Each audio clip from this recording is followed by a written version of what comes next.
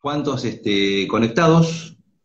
Así que está, bueno, está Marcelita Pacos, Enuk. Al principio era mejor, ahí está, dice. A ver, ahora cómo se ve, cómo se escucha, Graciela, Cintia Claudia, Yus Argentina, Vero Isana, Vivian Jiménez está. Mira, Julián, hace tanto ¿eh? tiempo. Juliano, Juliano Oicagua, un abrazo de, México es. Muy bien. Ahí está. Así que cuando quieras. Bien, Pablo, vos, este, tu conexión bien, ¿no? Creo que sí. ¿Vos me ves bien a mí? A veces se corta un poquito como, como que se pixela. Conectando con el satélite, dice Huerto No sé, que, diga la gente a ver si se ve bien eh, mi imagen, si se corta, si es la de Sebas. se escucha bien, se escucha bien. Bueno, bueno. Ahora sí, dicen. Bueno, bien, bien. ¿Arrancamos? Arrancamos. Nuestro tema de hoy es, ¿cuál es? Sol, luna y ascendente. Eh, tu camino de vida. El camino de vida.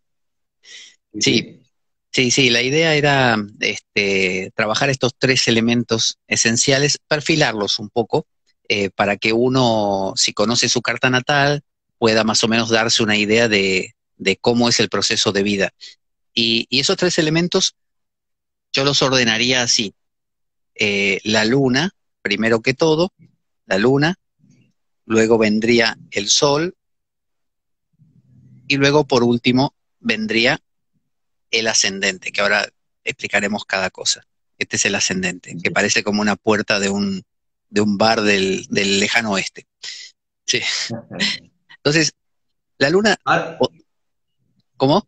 No, te, voy a preguntar, viste que eh, a, nivel importancia, todo es importante, pero bueno, viste que todo dice, no, mi ascendente, porque tengo que trabajar mi ascendente, es como que el ascendente es la parte eh, inconsciente, ¿puede ser? No, no. Eh, el ascendente tiene que ver con unas líneas, unas líneas que se le hacen a la Tierra, ¿no? Imaginemos que, todo esto es el planeta, y nosotros le trazamos unas líneas, dividiéndolas como si fueran gajos de naranja o de, una mandarina. Y, así como definimos calles en una ciudad y decimos, bueno, este pedacito es el barrio tal, este es, ¿no? Y en cada barrio pasan cosas diferentes, vive gente distinta, cada una de las casas, entonces el ascendente es una casa, es la primera de todas, eh, cada una de las casas va a definir eh, un bajar a tierra diferente de tu vida. Entonces, por ejemplo, la casa 1, por eso tiene, el ascendente, por eso tiene este dibujo, es eh, la forma en que vos comenzás las cosas en tu vida, la forma en que inicias las cosas, eh, pero bien acá en la tierra.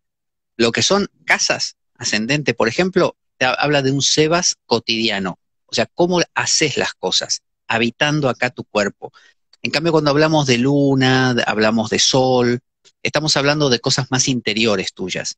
Por eso hay gente que dice, sí, yo soy de, no sé, de Pisces, ¿no? Porque tengo el sol en Pisces, pero tengo ascendente, no sé, Virgo, y Virgo es mucho más concreto. Entonces, ¿qué quiere decir?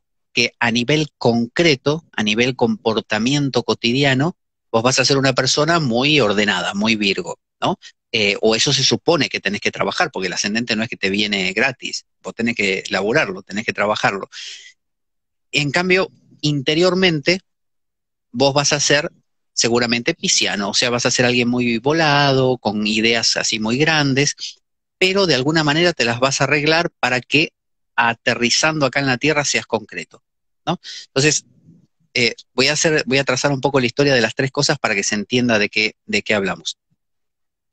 Eh, la Luna y el Sol son dos planetas para la astrología. Ya sabemos que la astronomía, obviamente, estos no son planetas. La Luna es un satélite y el Sol es una estrella.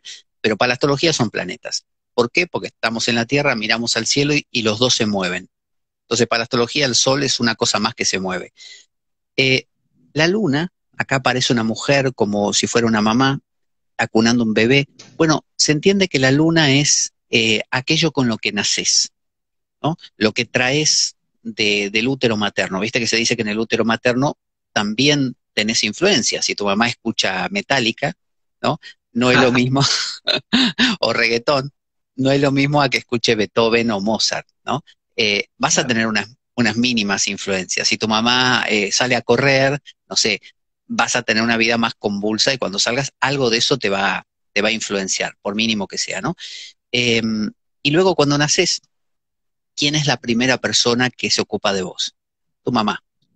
Puede ser tu mamá biológica, puede ser una tía que te crió porque tu mamá no está, puede ser este, una maestra, puede ser tu papá que cumplió funciones maternas. El tema es que alguien te cuida, alguien te cuida, alguien se ocupa de vos. Entonces imagínate que esta primer persona que se ocupa de vos, ah, y Debbie dice, yo tengo los tres, los tres centauros. muy bien, muy bien, ahora lo vemos. Ahora vamos a ver ese ejemplo. Em, imagínate que la primera persona que te cuida, supongamos que es tu mamá, te da sopapo todos los días, ¿no? Te da paliza todos los días. Y vos te criás a golpes, a los golpes, ¿no? Entonces, cuando vas creciendo y te convertís en Sebas, cada vez que te pongas nervioso en la vida, cada vez que te vaya mal, cada vez que estés en crisis, vos vas a decir, yo quiero volver a qué? A ese momento de mi vida donde yo no tenía responsabilidades, donde todavía no era Sebas, ¿no? ¿Y cómo era ese momento? Y bueno, mi madre me pegaba.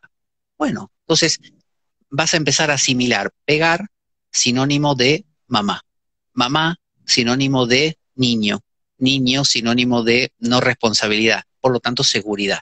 Entonces, ¿qué vas a buscar a lo largo de la vida para sentirte seguro? Que te peguen.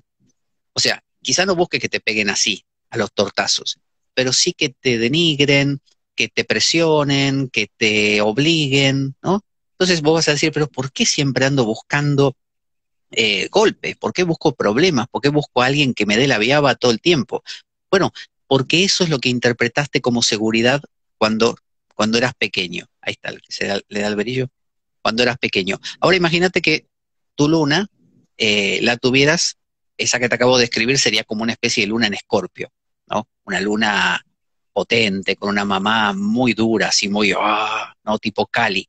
Pero imagínate que tenés una mamá, no sé, en, no sé, en Tauro como, como Debbie, ¿no? Entonces, ella, que es tu hermana, eh, va al tener una luna en Tauro, va a interpretar que tu mamá fue taurina, de estilo taurino, pero no necesariamente vos. Vos sos hijo de la misma madre y vas a interpretar que tu mamá es, no sé, donde tenés tu luna, así.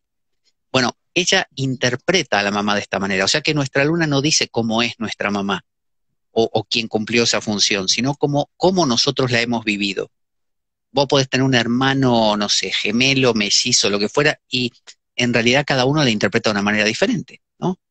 A veces ligeramente, a veces totalmente diferente.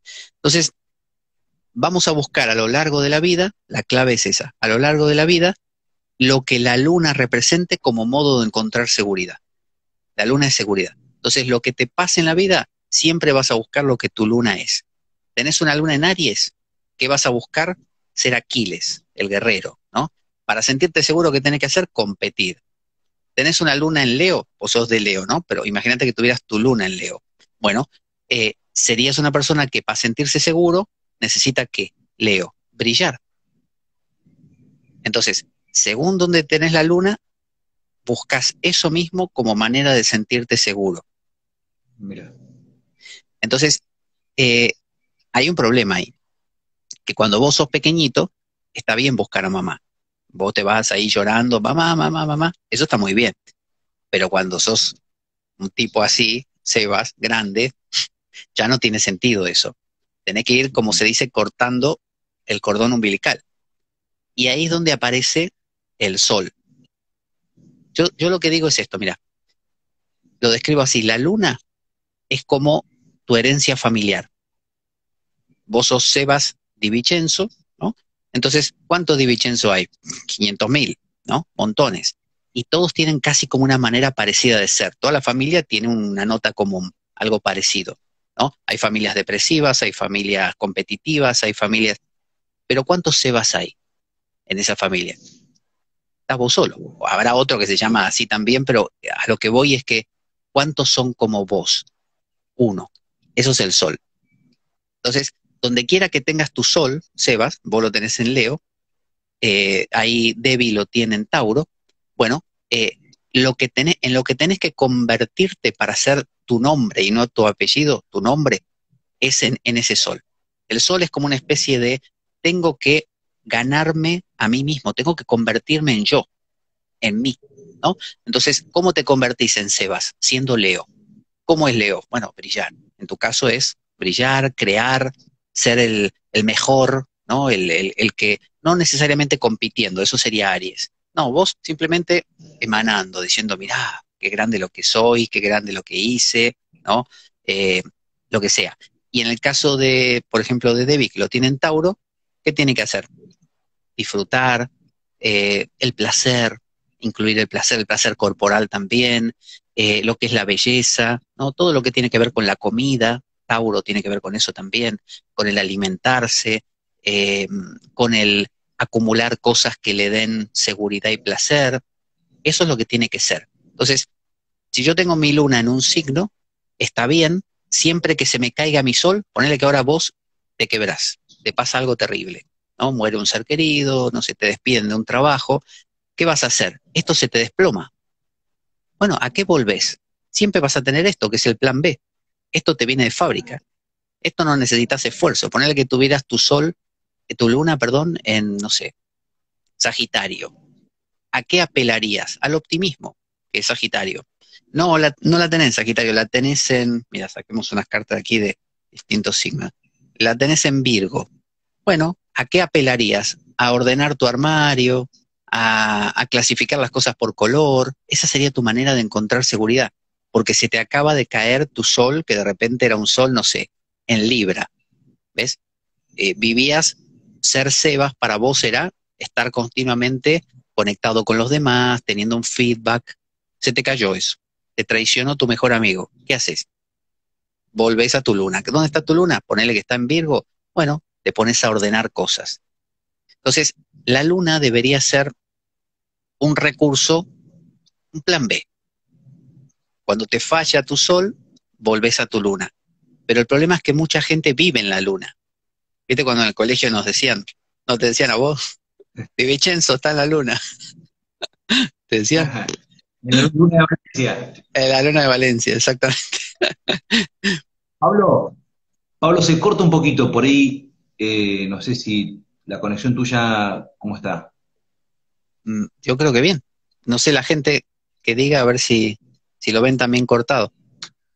No lo sé. No sé. Es como que se corta un poquito. Se escucha, pero se corta un poquito. Mm. No sé qué decir. Me voy. Ahí ahí mejoró. Ahí mejoró, vale. Eh, está bien. A ver, a ver si alguien opina y dice si se ve bien o mal, porque quizás es, lo que nos parece a nosotros en la, en la emisión, pero se ve bien. No lo sé. Bueno, entonces, ¿sigo?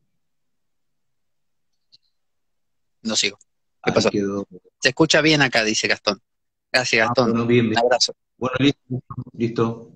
Entonces, entonces tenemos sol y luna. Todos nosotros tenemos un sol y una luna. Por eso no tiene mucho sentido decir, ay, yo soy de cáncer, yo soy de Virgo, yo soy de... Está todo bien. Pero que seas de... Ay, Juliano Icagua dice que se escucha bien, pero autoestimarte dice que se corta por momentos. Así que tenemos ahí un debate de, opiniones. Eh, bueno, el sol entonces representa nuestra... Yo escucho perfecto, dice Huerto Bianchi. Vale, sigamos adelante, sigamos adelante. Vero Isana dice que se oye bien también. Vivian Jiménez también. ganó, el se oye bien. entonces, entonces, el sol, el sol es Pablo, Sebas, y la luna es Divicenzo, Veloso, entonces, la idea es esta. Cuando vos vas a pedir un trabajo, por ejemplo, y pones en tu currículum y te preguntan, eh, Di Vincenzo, eh, ¿cuál es su habilidad natural? ¿Cuál es la cosa que usted podría decir, esto es en lo que yo, sin esfuerzo, me puedo, eh, puedo aportar a la empresa? Bueno, si vos tenés una luna en Tauro, como tiene Debbie, eh, lo que puede decir ella es, yo tengo la habilidad natural, sin ningún esfuerzo, de mantener las cosas estables, ¿no?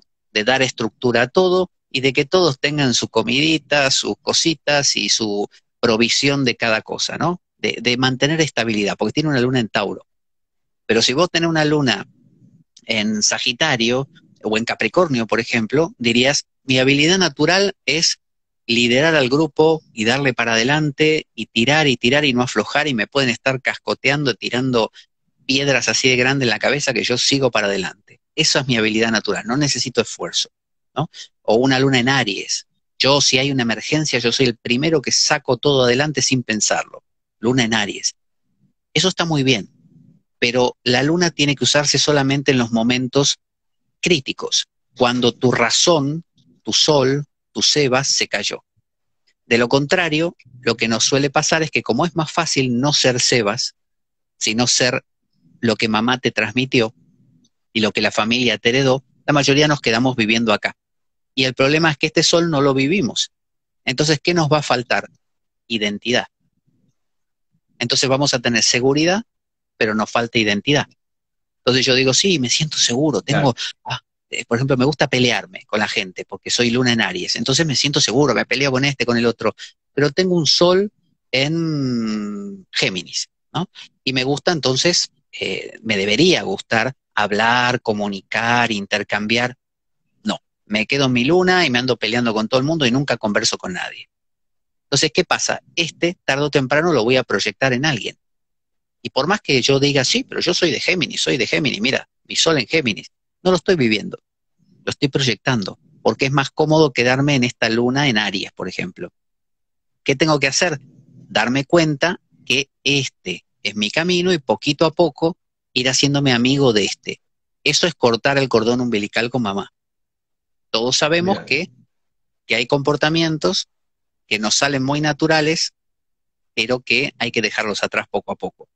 Entonces, ese es un desafío que tenemos todos entre nuestro Sol y nuestra Luna.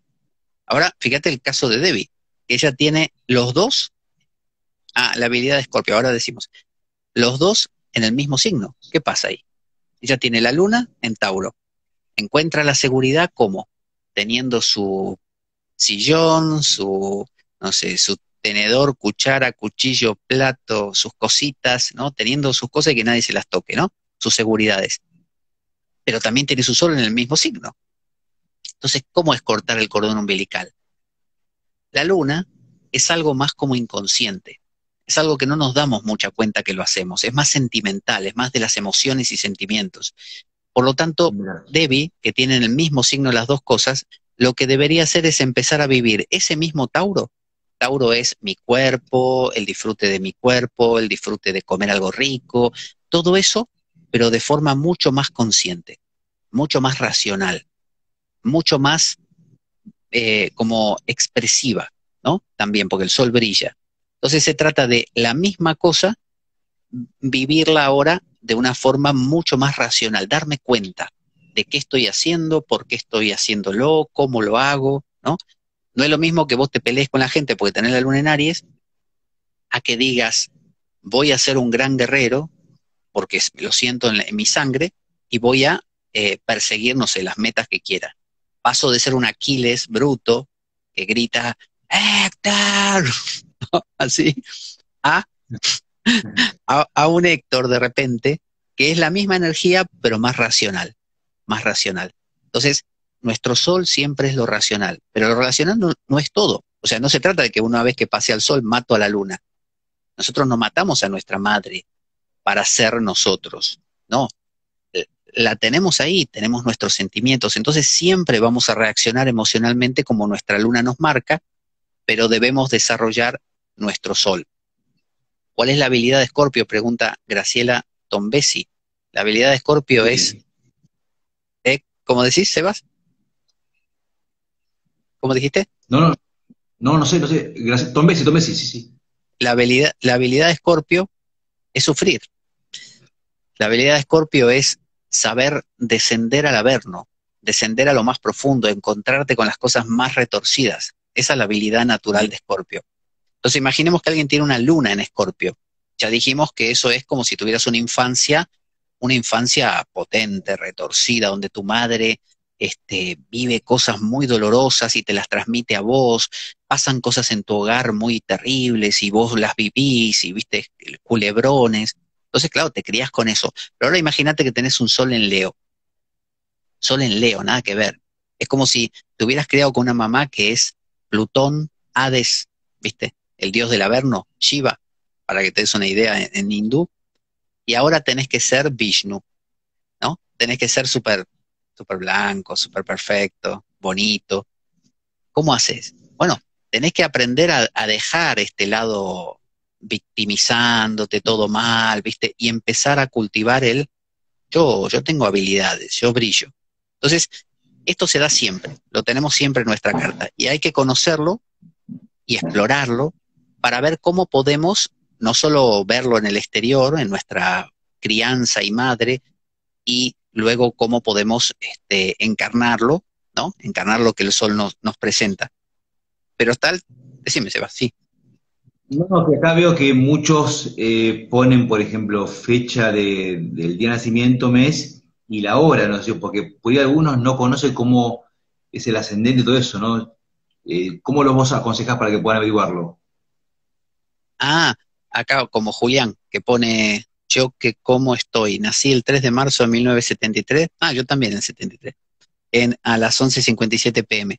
Bueno, lo que pasa que Julián, para calcular esto que estamos haciendo, como yo mentalmente no lo podría calcular, o sea, tendría que tener una habilidad extraordinaria, eh, lo que tenés que hacer es muy fácil. Hoy en día hay muchas páginas web eh, que podés entrar, una de ellas que me acuerdo ahora de memoria es Grupo, Grupo Venus, Venus como el planeta, Grupo Venus, creo que es .com.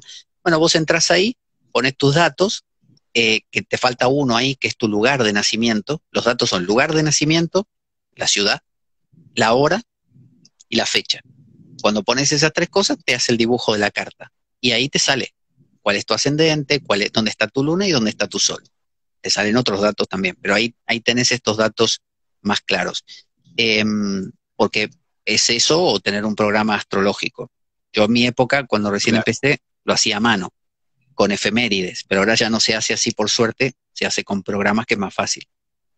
Así que no te puedo ayudar ahora, Julián, de, de calcular eso en mi mente porque por ahora mi condición de mortal me lo impide. Acá Marcela dice que, bueno, lo mismo, ¿no, Marcela? Porque dice, yo, yo conozco mi ascendente, pero no mi luna y mi sol. Sí, lo mismo, ahí en esa página pueden averiguarlo. Claro, claro, claro. No, no, ¿cómo que no conoce su sol? Su sol sí. O sea, sí. El sol es el famoso signo. Cuando uno dice yo soy de, ese es tu sol. Por ejemplo, ah, Sebas, ah, ah. Sebas es de Leo. Yo soy de Acuario. ¿Qué quiere decir? Que nuestro, nuestro Sol, respectivamente, el de, el de Sebas está en eh, Leo y el mío está en Acuario, que de hecho son signos opuestos. Claro. Estamos en, los dos lados de la, de la calle. Lados contrarios, pero complementarios. Perfecto. Bueno, el tercer elemento, el tercer elemento es el ascendente. Como dice acá Marcelita, dice Marcelita Pacos, dice, yo no conozco mi ascendente pero, ah, conozco mi ascendente, pero no mi luna y mi sol. Bueno, este es el ascendente. ¿Qué es el ascendente? De todas las casas que tenemos, estas son las casas que son como porciones de pizza, que van a caer en distintos signos, el ascendente es este de aquí, que puede caer en cualquier signo. Depende de que la hora en que nacimos ¿no? y el lugar en que nacimos. Entonces, esto se va moviendo todo el tiempo y de repente naciste ahí, te toca, o sea, ahí te tocaría ascendente Escorpio, por ejemplo, ¿no? Ahí ascendente Libra, ahí ascendente Virgo. Bueno, ¿qué es el ascendente? El ascendente es cuando diste tu primer bocanada de aire. Cuando das tu primera bocanada de aire, cuando recién naces, en la tierra, o sea, salís del útero de tu madre, ahí todo lleno de, de, toda esa sustancia, de la placenta y haces tu primera respiración, si ahí miras hacia el este, ¿qué signo está ascendiendo por el horizonte? Un signo va a estar ascendiendo. Ese signo es tu ascendente. O sea que la primera vez que vos respiraste en toda tu vida, estaba ascendiendo ese signo. Por eso es tan importante. Entonces, no te está hablando de de principios interiores de tu alma, de tu ser, una cosa interna, emocional. No, no, no, no. Te está hablando de actos, te está hablando de algo bien concreto. Te está diciendo, vos respiraste, ¡Ah! algo bien físico, ¡Ah! respiraste y ahí apareció ese signo. Entonces, lo que sea que esté en el ascendente, nos va a decir esto. Viste que cuando una persona se despierta por la mañana y, y te dicen, te levantaste con el pie izquierdo, ¿no? Por lo tanto, todo tu día va a ser un desastre. Y vos después empezás, se te vuelca el café, te llevas por delante una puerta, este, no sé, perdés el, autobús o lo que fuera. Entonces, ¿cuál es la noción? Si a mí me pasa algo al inicio, ya está marcado todo mi día por eso. ¿Viste? Cuando vos decís, arrancamos mal la relación. ¿Viste? También. Entonces, vos ya con eso pensás, esto va a ser todo así. Que en realidad no tiene por qué, pero bueno, uno piensa, si ya empezamos así, esto ya es el signo de cómo va a ser. Bueno, lo mismo es el ascendente, solo que con tu vida. Si vos empezaste tu vida, no sé, supongamos, vamos a buscar un signo acá que no hayamos nombrado, eh, cancerianamente, cancerianamente, tu primer ¡ah! bocanada de aire, así como cuando te levantas de la cama, tu primer paso fue con el pie izquierdo o derecho, todo tu día va a ser así, bueno, toda tu vida va a tener este signo, cáncer. Entonces, todos tus inicios de tu vida, todos tus inicios van a ser cancerianos. ¿Cuál, ¿Qué es un inicio? Un inicio no es solamente que vos inicias tu día. Un inicio, ¿ves? Vos iniciaste esta transmisión hoy, ¿no? Eh, o, o, te encontrás con un amigo, o te presentas a un trabajo. Son todas cosas donde vos pones la cara. Hola, ¿qué tal? ¿Qué tal? Yo soy Sebas. ¿eh? Esta es mi tarjeta, le decís. Eso es tu inicio. ¿No? Entonces, cualquier inicio de toda tu vida va a estar signado por el signo del ascendente. Ahora, de nuevo, esto no es gratuito, o sea, no, no te viene de fábrica, lo tenés que trabajar vos, porque de la misma manera que a vos no te causó ninguna gracia nacer, y a mí tampoco, que queríamos quedarnos tranquilamente en el útero, ¿no? Eh, es duro nacer, es duro aparecer en el mundo. De la misma manera, el ascendente no nos causa ninguna gracia porque vos decís, no, tengo que ir a conocer a quién, oh, no, tengo que presentarme al trabajo este, me tiene que evaluar no sé quién. O sea, uno no quiere ir a presentarse porque es un desafío, es un choque, ¿no? Tenés que aparecer en la vida. Entonces, el ascendente es siempre un desafío, pero hay que vivirlo, porque si no lo vivís no apareces en el mundo. Hay gente que no quiere aparecer y es un fantasma. Es alguien que vive en su mente pero no cuaja. Las casas, las casas es cuajar, es bajar a tierra. Entonces, ¿qué vemos en un ascendente? Vemos todo tu impronta, todo tu marca, lo que mostrás. Entonces, por ejemplo, ¿ves cómo te cortas el pelo? ¿Qué tipo de ropa usás? Em, ¿Qué gestos haces? Eh, no sé, cómo te presentás, qué tono de voz utilizás, cómo caminás. Todo eso es tu ascendente. Porque eso es tu, tu máscara social. Es, hola, acá estoy, soy Sebas. Y todo el mundo dice, ah, sí, sí, ya sé quién es Sebas. Y se hacen una imagen de qué? De esto, de cómo apareces en la vida. Entonces la idea es que si vos vas a iniciar un negocio, sí. Pero vos decís que es lo que uno tiene que trabajar, darle más, más, bolilla, digamos. Sí, sí. Porque la casa, no, no darle más bolilla, hacer lo que ocurra de esa manera. Porque vos podés estar viviendo tu sol, suponete, mira, fíjate, vos sos sol en Leo, ¿no? Entonces vos decís, oh, yo soy sol en Leo, mira, yo soy seguro de mí mismo, viste, me encanta este, dar, soy dadivoso, soy así brillante, pero ¿qué, pero ¿qué ascendente tenés? Y de repente tenés un ascendente Capricornio. Capricornio es como Mr. Burns, lento, ¿viste? que, trabaja duro, que trabaja duro, que sabe agachar la cabeza para llegar lejos, ¿viste? Que, dice, no, no importa, voy a aguantar, pero yo voy a llegar.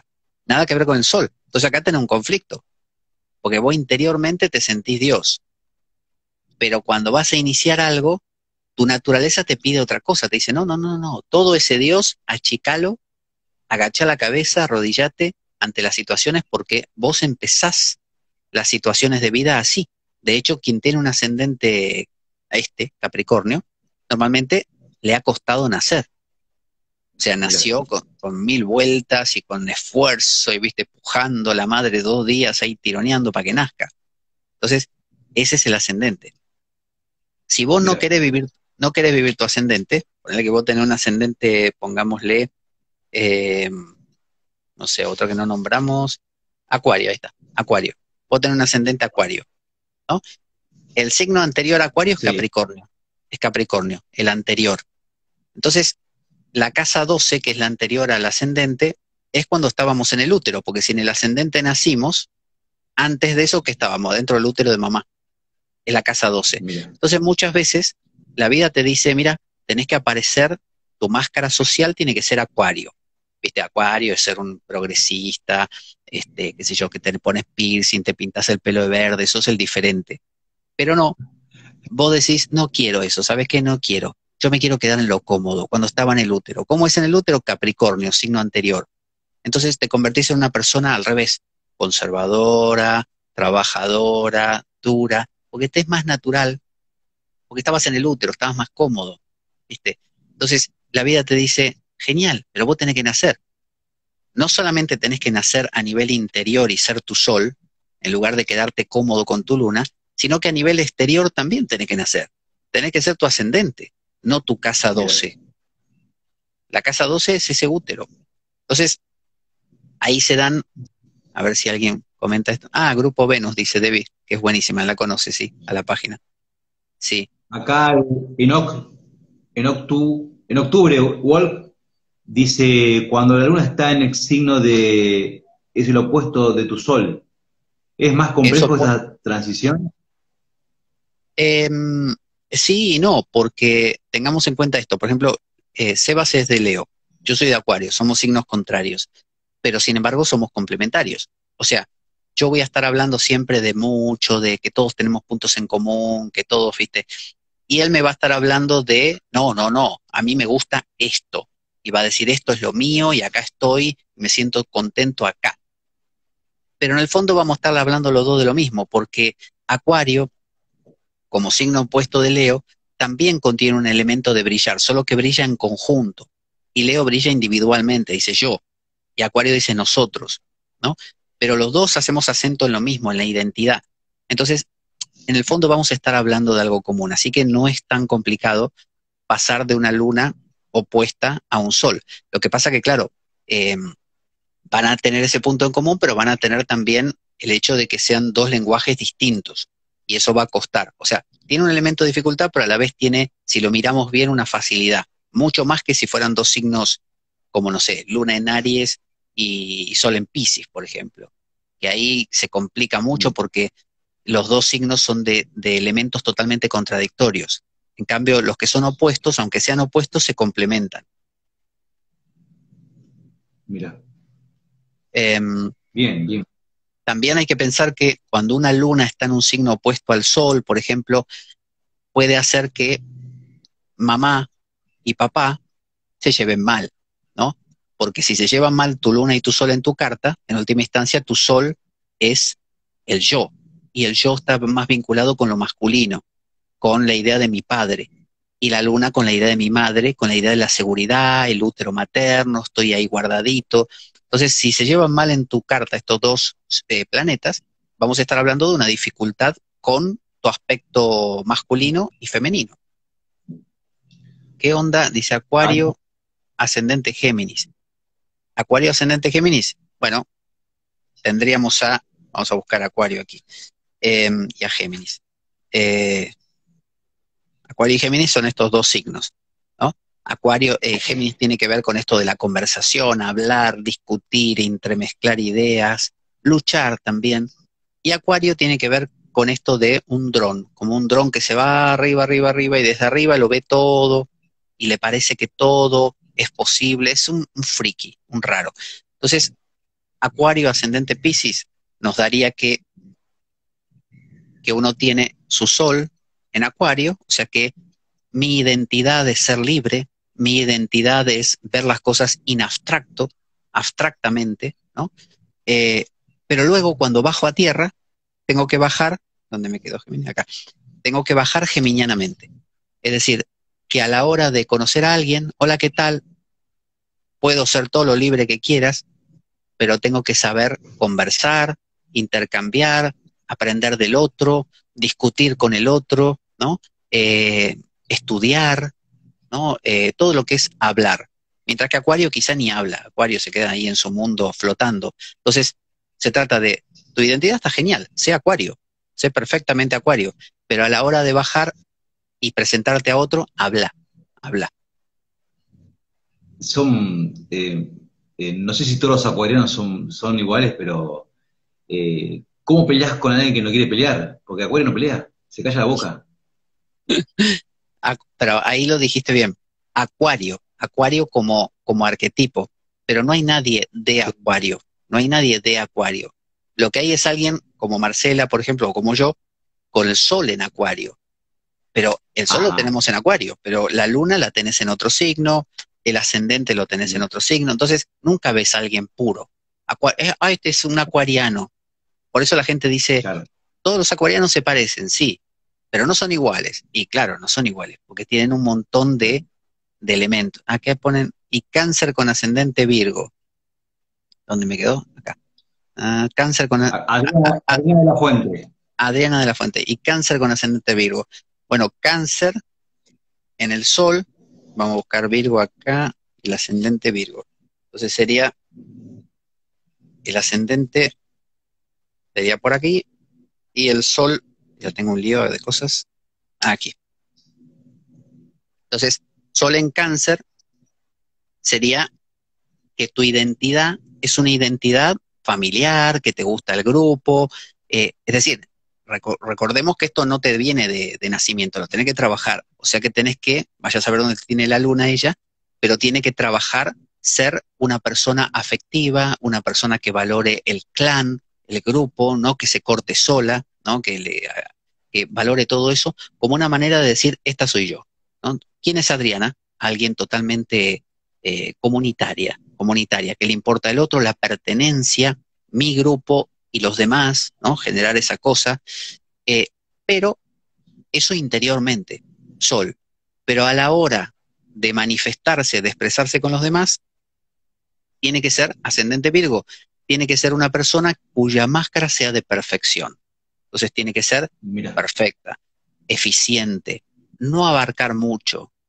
Virgo es un signo de cosas pequeñitas, no abarcar mucho. Entonces, ¿cómo es eso? Te presentas a una persona y tenés que ser más apocado, más tranquilo, ¿no? Ir poco a poco, no, no una especie de lanzarte sobre el otro y ya vamos a hacer de todo. No, no, no poco a poco, ¿no? Esa es la idea de Virgo. Y cualquier cosa que empieces en tu vida, que arranques, tiene que ser con mucha cautela, mucha calma, filtrando, separando la paja del trigo, ¿no? Bien, bien.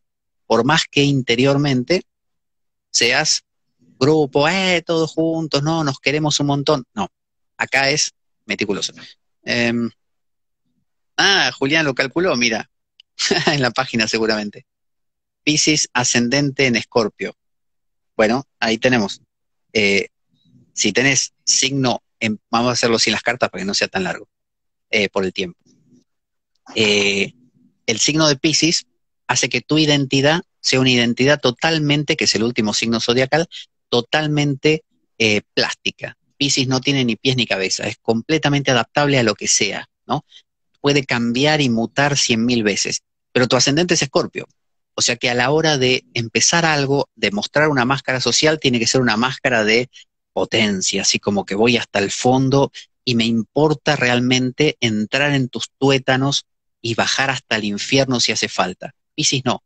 Piscis va a estar ahí volando en su mundo de, de, fantasía, ¿no? Entonces, fíjate, es ¿quién soy? dice Julián. Bueno, yo soy realmente libre, libre por completo, no me defino como nada pero cuando inicio algo, cuando salgo de cara al mundo, a la gente, ahí eh, bajo al no soy el oscuro, el oscuro. Mm. A ver. Eh, entonces ella es, como tiene los tres en el mismo signo, entonces 100% Tauro. Claro, ella tiene los tres. Entonces, ¿qué pasa? Fíjate. Dijimos, Luna en Tauro quiere decir que ella su seguridad la encuentra como, con posesiones, con cosas que le den justamente eh, certezas, ¿no? Tauro es así, ¿no? Y lo corporal, el placer, pero no placer escorpiano, así retorcido, placer normal. E, eso, eso por un lado. Luego tiene su sol en Tauro, entonces tiene que romper con vivir esto de manera inconsciente, así por defecto, y empezar a pensarlo esto, empezar a pensarlo, a razonarlo, por qué hago lo que hago, cómo lo refino, eso es vivir un, sol en Tauro. Y ahora, a la hora de presentarse a la gente, a la hora de generar una máscara social, presentarse como la taurina, es decir, la persona confiable, la persona estable, la persona que es como una roca, esa, esa especie de amiga que podés contar con ella, em, una persona que tampoco se va, va a ser muy alocada, sino que por el contrario, muy tranquila, muy apacible, muy eh, previsible, muy conservadora también, muy conservadora, no rompedora. Rompedora sería Escorpio, como Julián. Julián tiene que presentarse como una persona que viene ahí a romper, a romperte y que él mismo rompe esquemas. Eh, Sagitario ascendente Libra de Leticia. Eh, Sagitario, como signo, sería identificarte y decir, yo soy qué? Yo soy Indiana Jones versión femenina.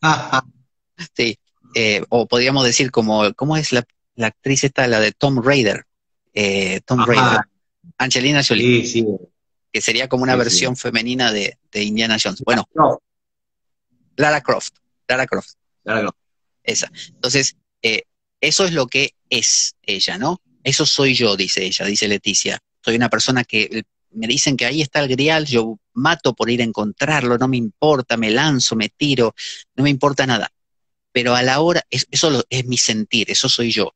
Pero a la hora de iniciar algo, de conectarme con la gente y con el otro, libra. O sea, le pregunto al otro, ¿qué te parece lo que voy a hacer? El feedback. ¿Qué te parece? ¿Qué opinás? ¿Cómo lo ves? ¿No?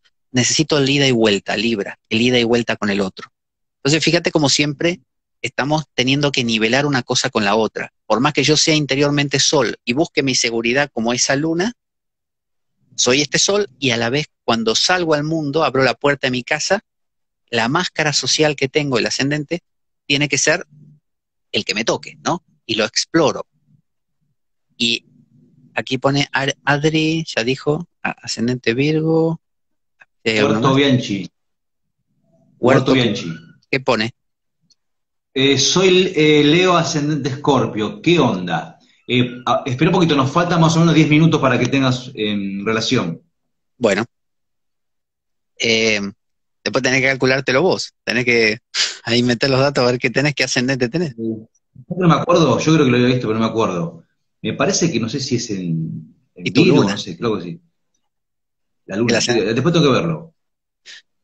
bueno, la página web era Arcanos, una página buena. Hay un montón, sí, sí. Yo no la conozco esa, pero sí. Temida, amada y odiada, dice Huerto. Eh, a ver, Huerto decía, espera que me olvide, eh, Leo ascendente Escorpio. Bueno, ¿qué quiere decir? Que yo soy Leo, como Sebas, ¿no? Por ejemplo, dice Huerto, soy completamente brillante, soy el centro de todo, soy el eje, así me siento, esa es mi identidad, ahí tengo que morar yo, eso tengo que ser. Ahora, ascendente Escorpio, como Julián, es que cada vez que yo salgo al mundo, cada vez que hago, hago, no soy, hago, ¿no? Hablo, me peino, me elijo la ropa, ahí pienso en Escorpio. Ahí qué hago? La ropa va a ser negra, con cuero, este, la imagen que voy a transmitir es una imagen tipo, qué sé yo, Al Pacino o, estos personajes así como oscuros o versión mujer, ¿no? Lo mismo, ¿no? Personajes potentes de esos. ¿Como quién? Tony Montana. Como Tony Montana. Como Tony Montana. De esos personajes que, que como el que hace el, silencio de los inocentes, por ejemplo, ¿no? O el uh, eh, eh, Hannibal Lecter. Como Hannibal Lecter, que te mira, te mira y te está atravesando con la mirada, te está desnudando. Bueno, esa es la persona, la imagen que da un ascendente escorpio, o debería dar. Pero normalmente el que tiene ascendente escorpio le cuesta porque se quiere quedar con el signo anterior y el signo anterior Escorpio es Libra. Entonces se queda con que, bueno, no, mejor busquemos la concordia con el otro, pero tu ascendente es Escorpio, tenés que entrar a romper. No podés quedarte con, el, con, la, con Libra, por más que era donde estabas en el útero. Yo tengo ascendente Leo, por ejemplo. ¿Qué tengo que hacer? Salir al mundo. ¿sí? Salir, al, salir al mundo brillando. Mi máscara tiene que ser una máscara así como, así, como, como tu sol, pero vos lo tenés que vivir adentro. Lo tuyo es adentro, sol. Y lo mío es máscara, hacia afuera. Por eso se dice que un sol en Leo es más firme que un ascendente Leo. Porque lo mío es solo máscara.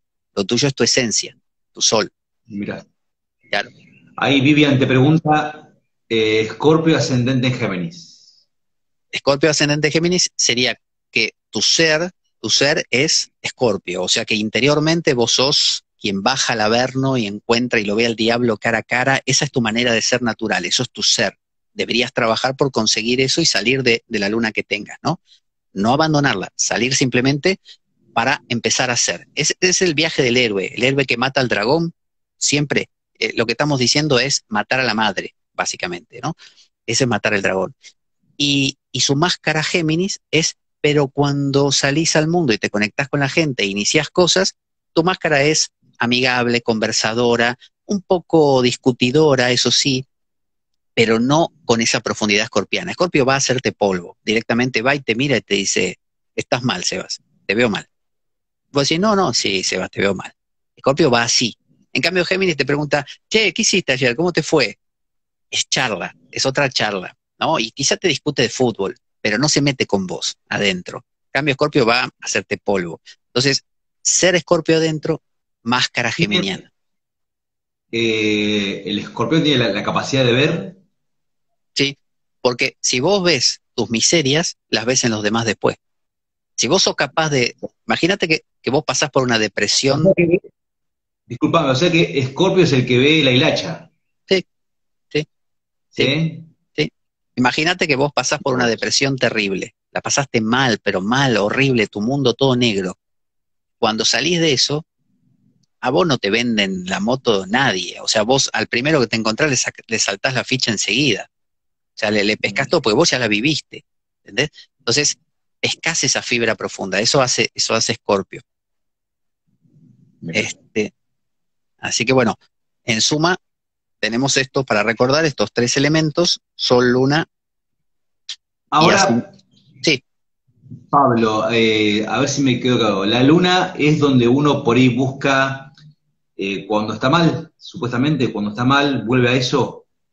todos sentimos emocionalmente como nuestra luna, siempre. O sea, si vos querés saber cómo sentís, y vos tenés la luna, no sé, para ver qué signo nos nombramos, en bueno, nombramos todo, creo.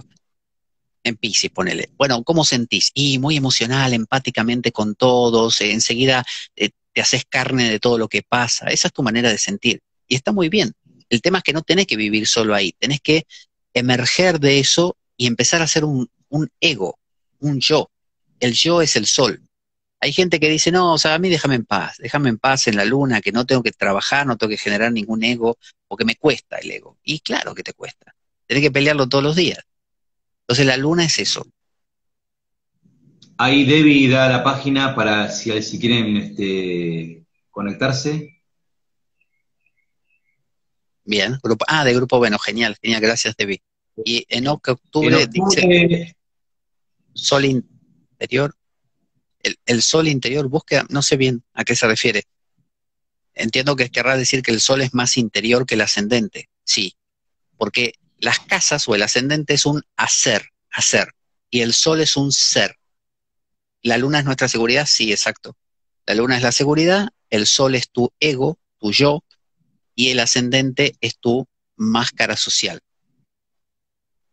Pablo, eh, vamos a recordar que hay cursos, ¿no? Hay cursos que, donde se puede anotar. Sí. Eh, curso de astrología, tarot. Eh, ahí estaba Marcelita, bueno, que por un tema de, que lo quería hacer por un tema de, eh, que acá en Argentina está todo como bloqueado, ¿no? Como el tema de lo que es, porque, de, ¿cómo, ¿cómo se dice? En tema de... De impuestos. está complicado. Argentina sí pone, muchas trabas para, para, eso. Pero bueno, sí, tenemos en, en, suma dos cursos. Eh, uno es de astrología, para el cual se pueden comunicar conmigo. Eh, y por otro lado, Sebas está armando el curso de tarot, que todavía estamos ahí reuniendo la gente más que nada por ese tema, el tema de, Argentina y sus cuestiones de, bloqueos. Eh, pero bueno, se pueden comunicar con Sebas para aprender tarot. Ay, mira, mira vamos a decir, Acuario, Acuario Piscis, vamos a decirle antes que corte, que creo que lo había puesto antes. Acuario, Acuario, bueno, además de ser el mejor signo, este, bueno, tiene que ver con eh, cómo soy, cómo soy Acuario, cómo soy como, como signo, eh, como un dron. Veo las cosas de manera abstracta, las veo desde arriba, tengo esa visión panorámica, con lo cual no me comprometo tanto como se comprometería Leo, lo veo desde arriba. Eh, y ascendente Pisces, es cómo, cuál es mi máscara social, cómo salgo al mundo, como súper sensible, como súper, mira, lo que te pase lo estoy sintiendo yo, o sea, empático absoluto. Son dos signos que son muy trascendentes. Acuario y Pisces están regidos por planetas transpersonales, con lo cual los dos tienden a, salirse del yo, a salirse del yo. Entonces, eh, son, no, son muy diferentes entre sí, son como una, uno una evolución del otro, no es difícil eh, vivir ese ascendente Pisces con un sol en Acuario. Lo que pasa es que hay que vivir el sol en Acuario primero. Sí. Ahí contaba Marcela lo que sí, lo que pasa. Mm.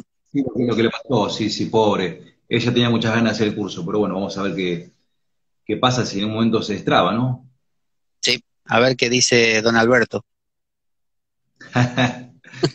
Eh, bien, bien. muy interesante, Pablo. Todo muy interesante, profundo. Y bueno, va a haber que, indagar bien sobre el tema del ascendente para ver, eh, eh, ir, laburando.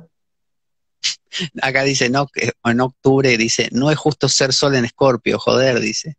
¿Por qué? Todos los signos son bonitos, no, no hay una cosa mala. El, sol en escorpio es buenísimo, es súper profundo, es tener mucha intensidad y profundidad. Todo es bueno. El, sol en Leo de, de Sebas es, te da como esa cosa de centralidad, yo soy el ombligo del mundo. Te sentís seguro, así como yo soy yo. Ahora los, los escorpiones son así muy, esa tendencia maestro, ¿no? Tendencias a, a gurúes, ¿puede ser? Así. Y eh, te tira para el lado de ser psicólogo, de ser gurú, de ser terapeuta, todo lo que tiene que ver con escarbar en el otro, claramente. Sí. Sí. Pero bueno, se puede vivir con cualquier combinación, no pasa nada.